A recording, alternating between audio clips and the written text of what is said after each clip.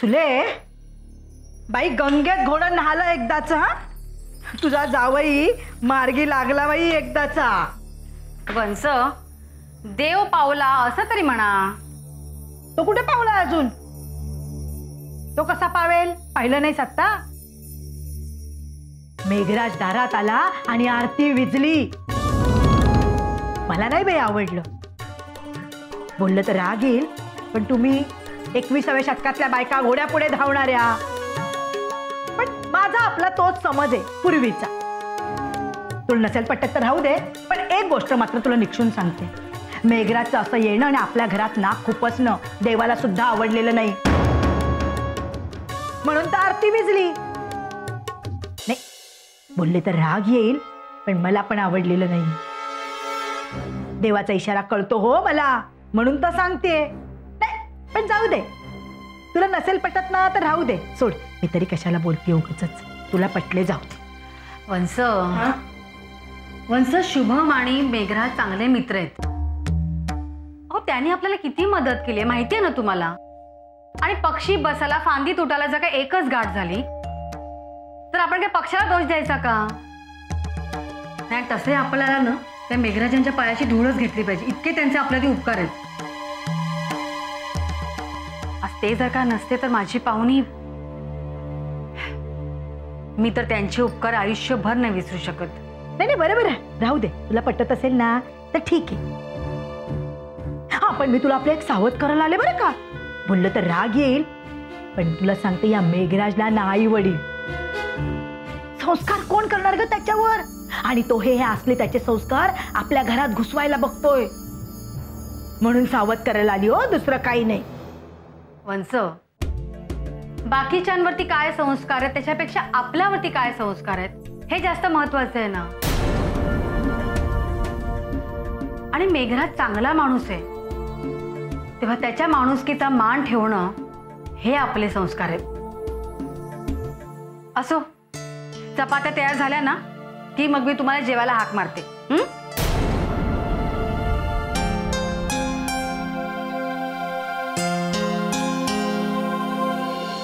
या ना मॅडम बसा. मी सरांना बोलू आणतो.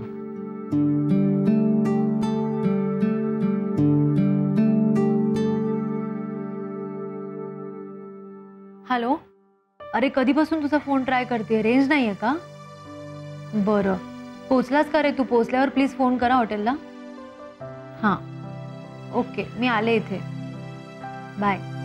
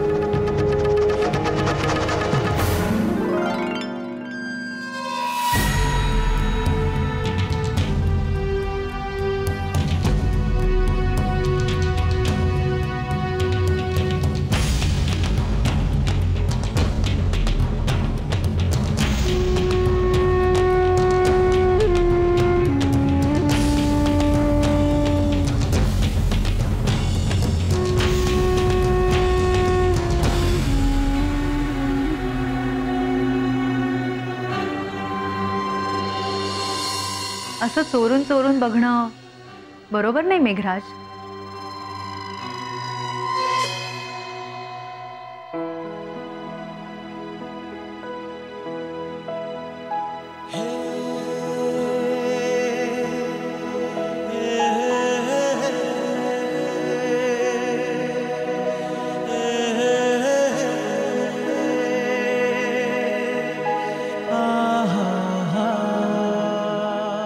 असंच एक दिवस चोरून तुझ्या हृदयात जाऊन बसेल. मग आपोआप येशील माझ्याकडे. काय झालं? तुझ्या मनात नक्की काय प्लीज मला कधीतरी सांगशील? माझ्या मनात?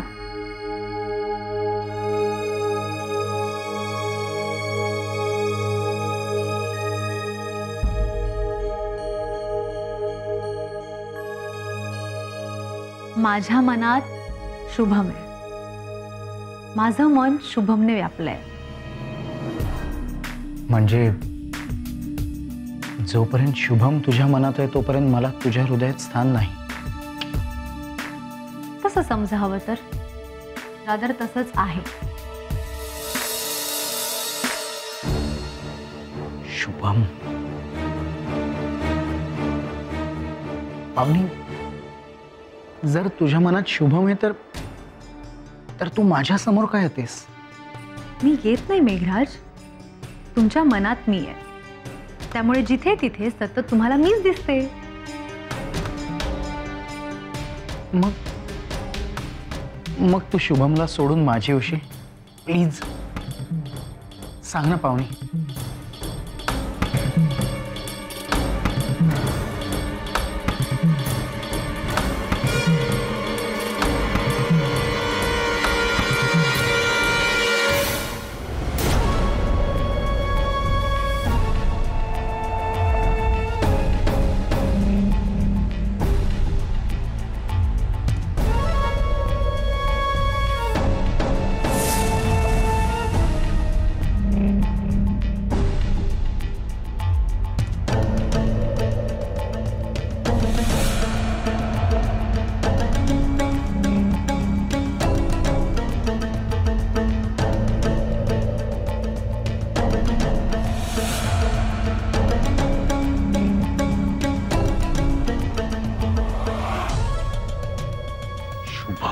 शुभम शुभम.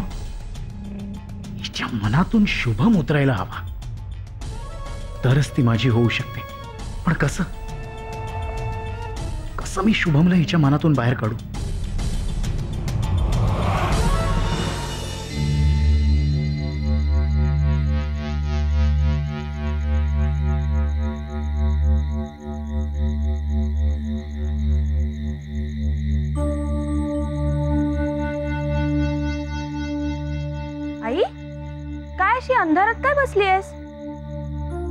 पैसे वगैरे मोजतेस की काय? पडलास ना उजेड? बंद करते दिवे। अगं लाईट बंद कर।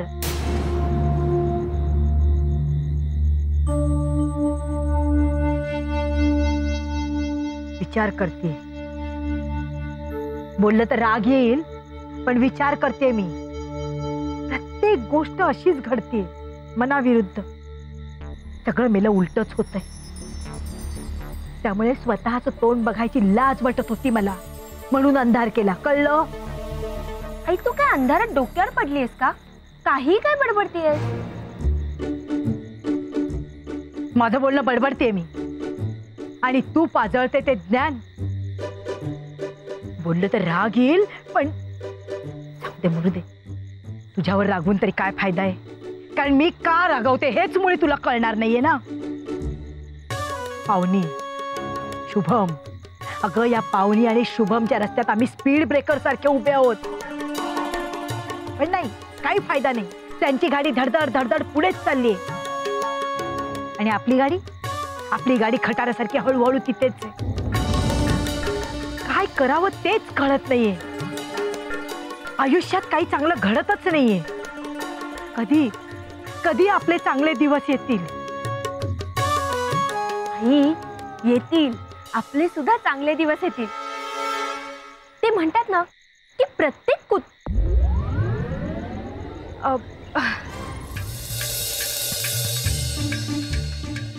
प्रत्येकाचे चांगले दिवस येतात. तसे आपले सुद्धा चांगले दिवस नक्की येतील. हो. चांगले दिवस येतील ना. पण त्यासाठी प्रयत्न करावे लागतात? बोललं तर राग येईल पण करते मी प्रयत्न करते भूषण कुमार प्रयत्न करतायत. पण दगडे तू तू पण जरा प्रयत्न कर नुसती बडबड करू नकोस. आई आता तू आणि ते असे दोघेही मिळून करताय ना प्रयत्न? मग मी वेगळे प्रयत्न करण्याची काय गरज आहे? हा, ते खरंच आहे म्हणा. काय कळत नाही या पोरीला. अगं त्या पाहुणीसारखे टॅलेंट तुझ्यात असते ना त्यात चित्र काही वेगळं होतं. ती सुलू बघ कशी नाकाने कांदे सोलते. का? तर तिची मुलगी आणि जावई यशस्वी आहेत ना? नाही तर मी. तरी किती वेळा किती वेळा त्या सुलूचे कान भरले मी त्या मेघराज विरुद्ध. पण नाही तिच्या लेखी तो गुढी बाळ आहे. मला एक कळत नाही या पाहुणीला काय गरज होती मेघराजची मदत घ्यायची. दोघं नवरा बायको मिळून त्या मेघराजला गुंडाळताय आणि आपण आपण काही करत नाही. हातावर हात धरून बसलोय नुसतं. नाही म्हणजे भूषण कुमार करतायत प्रयत्न? पटवलाय पण त्यांनी मेघराजला. पण पण ही गोष्ट जर शुभम आणि पाहुणीला कळली तर? काहीतरी करायला हवंय आपल्याला. आपल्याला काहीतरी करायला हवंय. एक मिनिट एक मिनिट. आपल्याला काहीतरी करायला हवं म्हणजे? आधी मला सांग की तुझ्या डोक्यात कुठला तरी खूप मोठा प्लॅन शिजतोय बरोबर आहे? किंवा तुला पश्चाताप झाला? पश्चाताप करण्याची वेळ येणार आहे पण ती माझ्यावर नाही. पाहुणी आणि शुभमवर. आता कसं ते मला कळत नाहीये? अगं अगं पाहुणी आणि शुभमनी त्या मेघराच्या मदतीने जसं उंच उंच भरारी मारली आहे ना? तसं तू आणि भूषण कुमारनी मेघराची मदत घेऊन जर उंच भरारी मारली तर आणखीन काय हवंय? अरे एक सांग दगडे तिचं पाहुणी करू शकते तर तू का नाही करू शकत हे सगळं? जाऊ दे मरू दे. मी तरी कुणाशी बोलते? आपलं स्नान खोटं म्हटल्यावर काय करणार नाही का?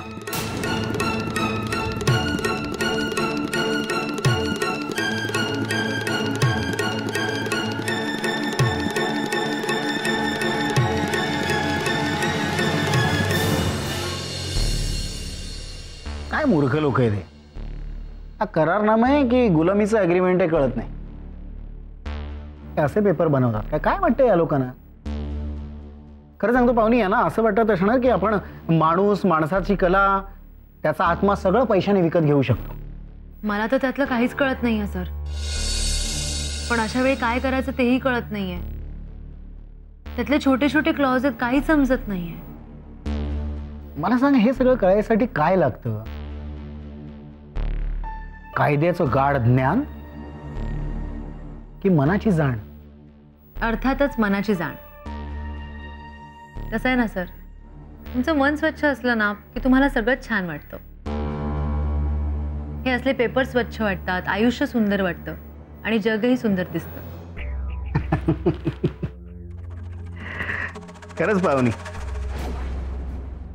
हे इतके सुंदर आणि छान विचार तुझ्या डोक्यात येतात कुठून मला कळत नाही.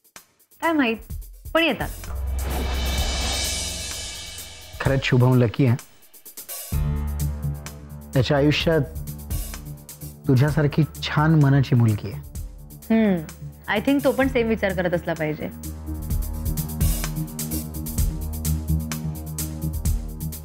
त्याला वाटते की नाही माहीत नाही.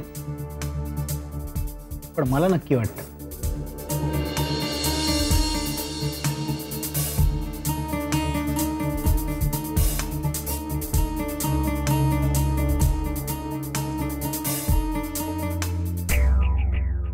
खरंच पण शुभम तुझ्याशिवाय आणि तू शुभम शिवाय अपूर्ण आहात नाही? हो. माझ्या आयुष्याची सुरुवात शुभमपासून झाली आहे. आणि अंत पण त्याच्या बरोबरच होणार.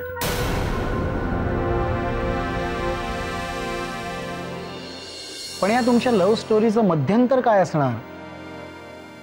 हे तुला माहीत नाही. माहिती आहे काय? आमच्या लव्ह स्टोरीत ना एक विलन येणार. आणि मग शुभम आणि शुभमचे हे मित्र मला त्याच्यापासून सोडवणार. ऑफकोर्स ठीक आहे सर. आता निघते मी. ओके हे सगळे पेपर फायनल करून तुझ्या घरी पाठवून देतो मी. आणि एक मिनिट मी उदयला सांगतो तुला ड्रॉप करेल. नाही नाही ठीक आहे मी जाईन रिक्षाने. अरे आणि मध्येच कुठच्या विलनची एंट्री झाली आणि तुला पळवून नेलं तर? तुझा हिरो मला दोष देईल. नाही नाही. ठीक आहे येते. खरंच मलाच खूप बरं वाटतंय पाहुणे. मला तो दिवस आठवतोय ज्या दिवशी आपण पहिल्यांदा भेटलो होतो. मी तुला स्पॉन्सरशिप द्यायला आलो होतो. व्यवसायाच्या निमित्ताने सुरू झालेला हा प्रवास मैत्रीत बदलेल असं नव्हतं वाटलं मला. कधी कधी होतं असं. आपल्याला वाटत नाही पण त्या गोष्टी घडतात. आणि जे मनात असतं तेच घडतं तेव्हा? तेव्हा आपल्या मनाने आपल्या हृदयाकडे एखादी गोष्ट मागितलेली असते. मग तीच गोष्ट मिळवण्यासाठी तिन्ही लोकांमध्ये प्रयत्न सुरू होतात. मग करेक्ट वेळेवर ती गोष्ट आपल्यासमोर येऊन उभी राहते. जसा माझा शुभम माझ्या आयुष्यात आला. आता निघते सर बाय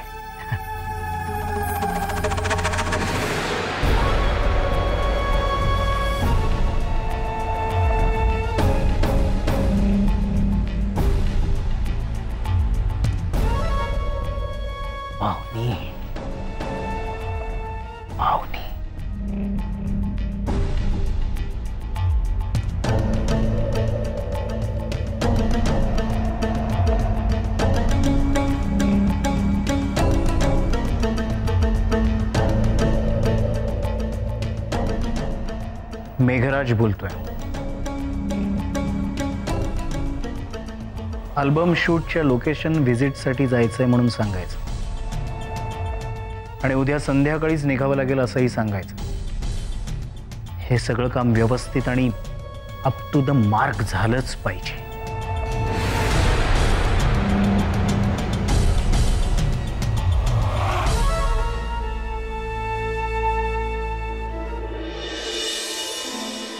बोला। मैं और मेरी तन्हाई। अक्सर ये बातें किया करते हैं। पावनी होती तो कैसा होता? पावनी होती तो ऐसा होता। पावनी अशी हसली असती पावनी अशी रडली असती अशी फुगली असती अशी रुसली असती मला एक गोष्ट कळत नाही। प्रत्येक पुरुषाला दूर गेल्यावरच कसं रोमॅन्टिक बोलायचं सुचतं? कारण प्रत्येक पुरुषाला दूर गेल्यावरच त्याच्या बायकोची खूप आठवण येते. तर प्रेयसीची खूप आठवण येते. लकी की मी लग्न झाल्यानंतर पण तुम्हाला प्रेयसी समजतोय आणि तुमची आठवण काढतोय. आणि तेही प्रेयसी म्हणून. खरंच यार पाहुणी मला तुझी खूप खूप आठवण येते. हम्म. आठवणीत पण तुला मी रडताना रुसतानाच आठवते का? आता काय करणार? पवनी सुंदर मुली चिडल्या रुसल्या की जास्त सुंदर दिसतात. ए म्हणजे बाकी वेळेला मी सुंदर दिसत नाही? अरे यार काय सांगू तू किती छान दिसतेस. मला नाही शब्दात मांडायचं ते. कारण मला भीती आहे. जर तू किती सुंदर दिसतेस हे जर मी शब्दात मांडलं तर तुला माझी नजर नको लागायला. पण का गे तुला माझी आठवण येत नाही ना? मला? हम्म? मला तुझी आठवण ना? आठवण आठवण. येते. म्हणजे थोडी थोडी ऍक्च्युली ना नाही रे. नाहीच. बरोबर आहे. आता काय तुझा मी नवरा आहे ना? होय ग. चिडलास? ऐक ऐक. एक गोष्ट अशी घडते जेव्हा मला तुझी खूप खूप खूप खूप खूप आठवण येते. कोणती गोष्ट? मी श्वास घेते तेव्हा.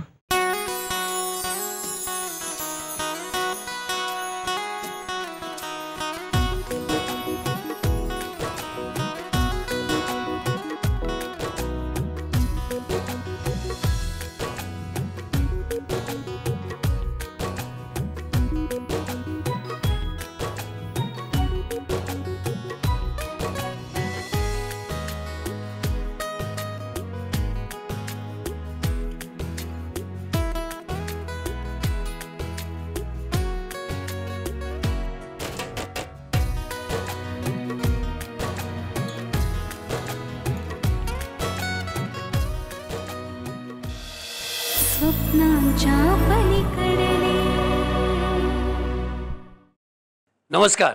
प्रेक्षक हो आजपर्यंत तुम्ही स्टार प्रवाह चॅनलला भरभरून प्रतिसाद दिला. असाच प्रतिसाद तुम्ही स्टार प्रवाह यूट्यूब चॅनलला सुद्धा द्या. आणि त्यासाठी सबस्क्राईब करा आणि व्हिडिओज बघत राहा.